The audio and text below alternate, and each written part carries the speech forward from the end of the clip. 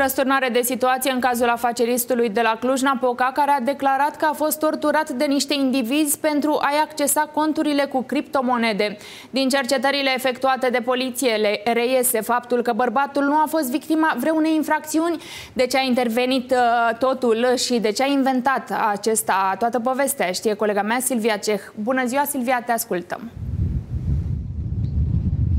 Bună ziua, Cristina, bun găsit tuturor. Bărbatul ar avea probleme financiare, dar și medicale. În plus, unele surse susțin că acesta s-ar afla în proces de divorț. Acestea ar fi motivele pentru care și-a înscenat răpirea și le-a spus oamenilor legii că a fost torturat timp de mai multe ore.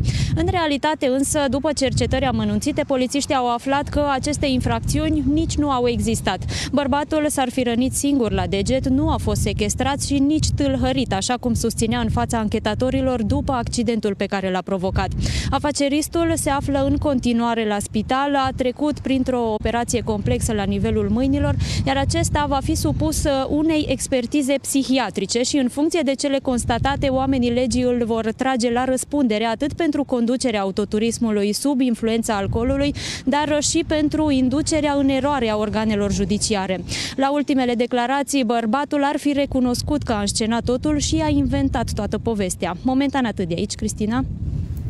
Mulțumesc, Silvia. Accident în această dimineață la cariera Roșia din județul Gorj. O mașină în care se aflau șase muncitori a intrat într-o bandă transportatoare. Șoferul și alți trei pasageri au ajuns la spital. Cum s-a întâmplat totul, știe colega mea, Teodor Argint. Bun găsit, Teodora, te ascultăm. Bună ziua, Cristina, și bun găsit tuturor! Deși în accident a fost implicată o autospecială a pompierilor, se pare că, de fapt, această mașină aparținea unui operator economic ce transporta cu ea muncitorii la cariera roșie. În mașină se aflau uh, șase persoane care urmau uh, să intre la serviciu în această dimineață. Pe drum, însă, șoferul, în vârstă de 52 uh, de ani, nu a fost atent și, atunci când a virat la dreapta, a intrat cu putere într-o bandă transportatoare din cadrul cadrul minei. Patru persoane au ajuns la spital, printre care și șoferul, care în acest moment se află în stare gravă și asta pentru că el a rămas încarcerat uh, inițial în uh, mașină și a fost nevoie de intervenția pompierilor pentru a-l extrage din uh, vehicul. Acum se află pe patul de spital și are fracturi la picioare. Și alte trei persoane se află la spital, dar din fericire leziunile lor nu le pun în pericol uh, viața. Acum polițiștii se află la fața locului și fac uh, cercetări pentru a stabili ce anume s-a întâmplat. Momentan atât de aici, la revedere! O pasăre pe cale de dispariție a fost descoperită într-o localitate din Bihor. Mai multe cârduri de dropi trăiesc pe un câmp izolat din Bihor, iar ecologiștii au luat toate măsurile pentru a salva specia. Au mutat în subteran o linie electrică aeriană și au pus la pământ stâlpii de curent.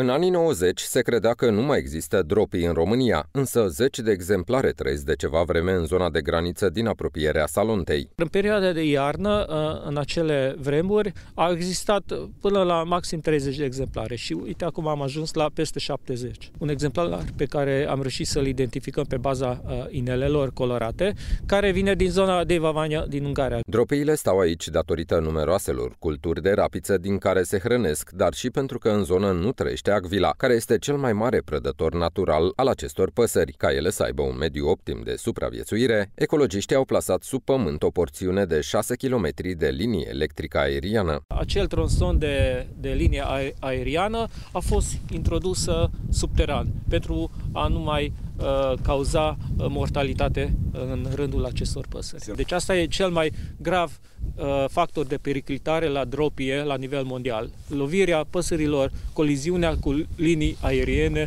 de electricitate. Apariția dropiilor a atras pe câmpul de lângă Salonta numeroși localnici și turiști, iar autoritățile vor să le transforme într-un brand. Vin de cam un an jumate, aproape în fiecare lună, cu prietenii, cu familia și ne place foarte mult. Faceți și poze acolo la drum? Da, facem și poze. Sunt chiar foarte frumoase. Este o ajutor foarte mare pentru comunitate în contextul în care fiecare localitate are un brand. Acest brand în locul orașului nostru nu este altceva decât Topia, specia asta de pasăre. Am observat că au apărut uh, din toată țara turiști în zona noastră. Ba mai mult, la ieșire din Salonta a fost inaugurat Cuibul Dropiei, un imobil construit cu fonduri europene printr-un proiect în valoare de aproape 900.000 de lei. Avem două piste de bicicletă, una duce la Beichișceaba, la partenerii noștri și una la turnul de observare. De unde pot fi admirate? De unde pot fi admirate dropiile. Organizăm uh, anumite activități pentru copii, educative, distractive. Și pentru turiștii care vin? Uh, le putem oferi tot felul de informații, informații unde să, cum să ajungă la dropii. Pe viitor, ecologiștii vor să depună un nou proiect european prin care să-i despăgubească pe fermierii care nu intervin în plantațiile în care dropiile au depus ouă. Perioada sărbătorilor a fost foarte aglomerată pentru artiști, iar în timp ce unii au decis să își refacă energia în țările calde, alții au preferat să rămână acasă și să apeleze la tot felul de masaje și terapii de relaxare. Lorena, cântăreața recunoscută pentru energia de care dă dovadă pe scenă, încă se resimte după perioada agitată și este nevoită să facă terapii care să îi detenționeze tălpile și gambele. Ui, ui, ui, ui, ui, ui. Păi ce place românului, la la la la la la la. Să petreacă lângă ai lui, la la la la la. Am petrecut, am cântat, am jucat. Dar acum vai de picioarele mele Îndrăgită și iubită de public, Lorena abia reușește să facă față numărului mare de spectacole la care este invitată. Simpatica artistă nu vrea însă să dezamăgească pe nimeni și face eforturi să ajungă peste tot. Am cântat și de Revelion, am cântat și de Sfântul Vasile, de Sfântul Ion. Vă dați seama, piciorușele mele sunt foarte obosite. De aceea am ales să, să vin la spa, să mă răsfăț. Pentru că efortul a fost pe măsura rezultatelor, artista se resimte acum și are nevoie de o perioadă de relaxare. După ore întregi petrecute zilnic pe tocuri, Lorena aproape că nu își mai simte tălpile, iar gambele sunt încordate și umflate. Din dorința de a-și reveni cât mai repede, apelează la tratamente de detenționare musculară.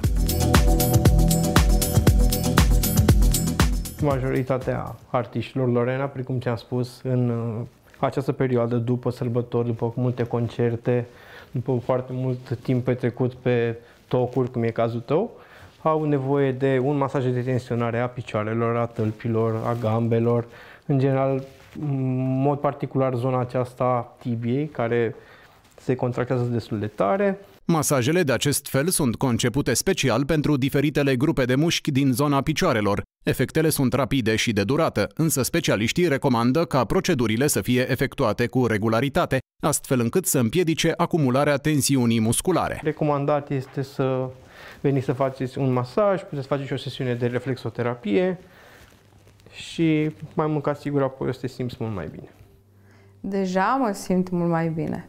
Lorena a încercat pentru prima dată această procedură, dar este decisă să revină, mai ales că agitația din viața unui artist nu se termină niciodată. Relaxare, relaxare totală. Dragilor, sunt pregătită să o iau din loc.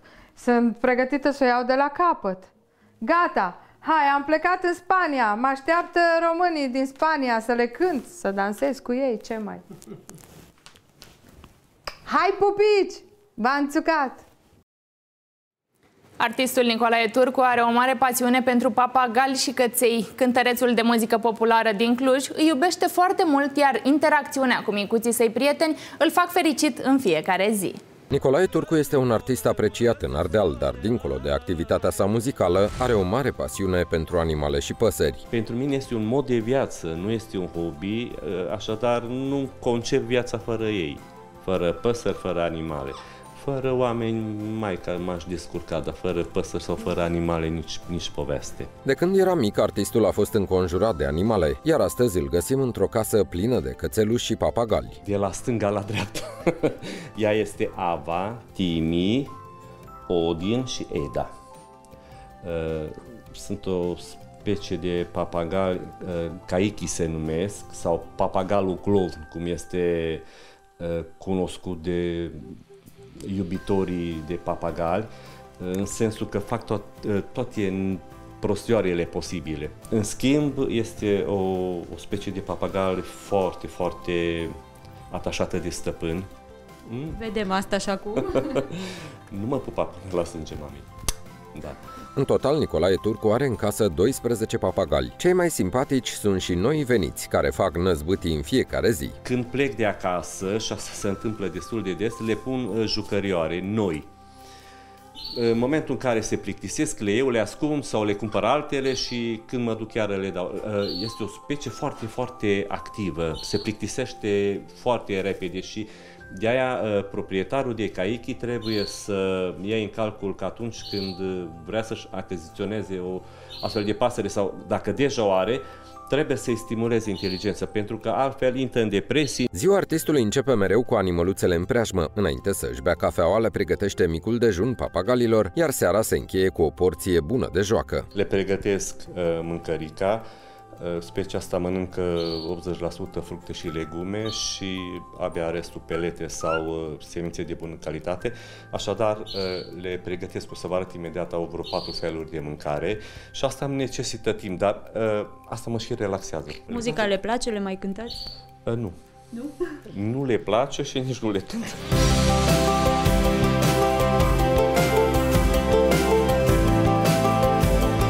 Dar să facem cunoștință și cu celelalte vedete din familia artistului. Aici avem așa, mama Mini are 6 ani, fica ei Zara are 4 ani și uh, puișorul Alumini și frățiorul lui Zara, Happy, care are 9 luni. Ei, de fapt, sunt, uh, sunt căței soției. Când soția e acasă, eu nu exist. Nici nu mă bag în seamă, eu sunt responsabil numai cu plimbatul. Dar când soția nu e acasă, îți bun și eu. Nicolae Turcu imortalizează toate momentele frumoase și amuzante pe care le trăiește alături de necuvântătoarele din locuința sa, iar filmările și fotografiile pe care le postează pe internet se bucură de mare succes. Lora, de trei ori peste cap. Odin, lasă-ne Odin. Doi. Bravo! Sudul litoralului va avea o nouă față după ce plajele din mai multe stațiuni vor fi extinse. Lucrările vor începe în toamnă și vor fi gata sezonul următor. Până atunci, constructorii au început pregătirile în zonă.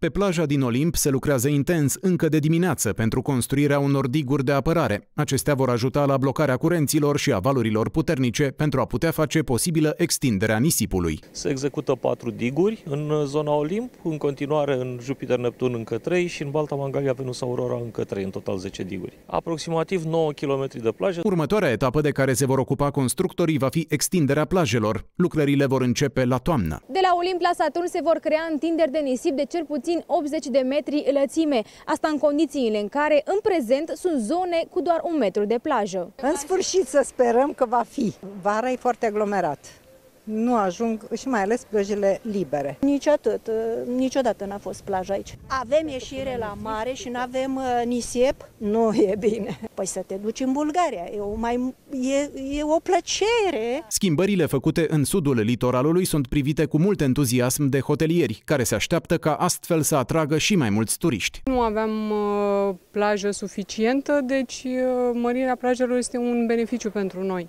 Este foarte important pentru noi să avem o plajă aproape de hotel, să nu trebuiască să se deplaseze în alte stațiuni. Următoarele plaje aflate în proiectul de extindere din sudul litoralului sunt Costinești și 2 Mai. Până atunci, turiștii vor putea merge pe noua plajă din Eforie Sud, proaspăt extinsă pe o lungime de aproape 6 kilometri.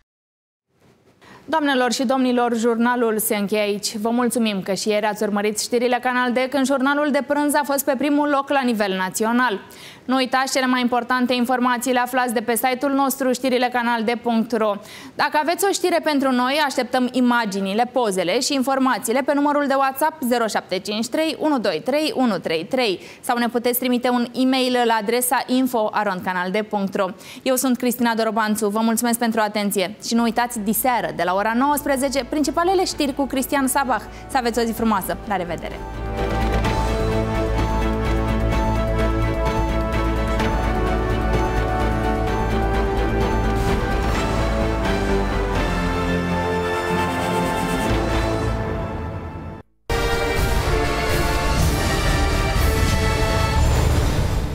Bună ziua, dragii mei! Astăzi vremea va fi anormal de caldă, în special în sudul și în sud-estul țării. Cerul va avea înnorări și vor fi precipitații pe arii extinse. În vest, centru, nord și nord-est, la început vor fi precipitații mixte, iar din a doua parte a zilei va ninge, iar în restul țării vor fi ploi. La munte sunt anunțate ninsori și local se va depune strat de zăpadă mai consistent în Carpații Orientali și Meridionali. Vântul va avea intensificări în special pe creste, unde rafalele vor depăși 70 de km pe oră. Temperaturile maxime se vor încadra între 2 și 14 grade. Iar acum să vedem ce se întâmplă cu vremea în fiecare zonă a țării. În Muntenia va fi o zi ploioasă, iar mercurul din termometre urcă la 13 grade în Ploiești, 15 grade în Călăraș. În Transilvania se anunță vreme mohorâtă cu precipitații atât sub formă de ploaie cât și de ninsoare. 6 grade vor fi în Cluj-Napoca, 9 grade în Alba Iulia. În Moldova se anunță atmosferă închisă, dar va fi o vreme caldă pentru această dată. În special în nordul regiunii sunt așteptate ninsori și vor fi până la 4 grade în Iași, 8 grade în Piatra Neamț.